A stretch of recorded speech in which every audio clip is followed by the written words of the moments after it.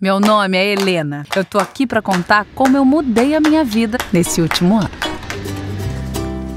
Boa tarde. Boa tarde. Português era um achado. Rapidinho ele tava dormindo na minha cama. Mas cá entre nós, o dia a dia de um relacionamento não é uma eterna lua de mel. Você tá muito longe de entender as mulheres. Não, Helena. Eu tô longe é de entender você. Eu só queria que ele fosse um pouquinho mais. Ah, que fosse alguém como eu. E estas calças, Helena? São lindas. Amor. Alex, eu olho para você e vejo uma mulher.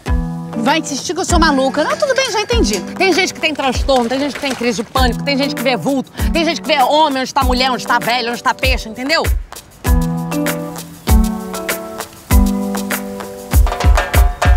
O que, que você tá vendo aí? Psh, meu, tá olhando o que agora?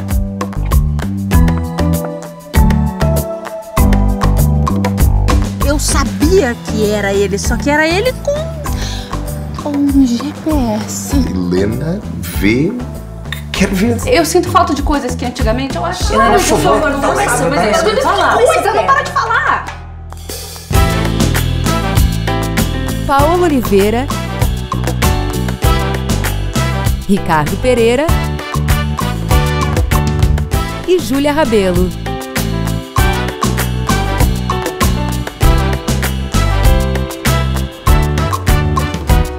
Alguém como eu. Tu me convidas para jantar com os teus amigos só para eles acharem que tu tens uma vida normal. Nossa senhora portuguesa, eu não entendi nada que você falou. Fala rápido que eu sou aqui, como é que eu entendo? Breve nos cinemas.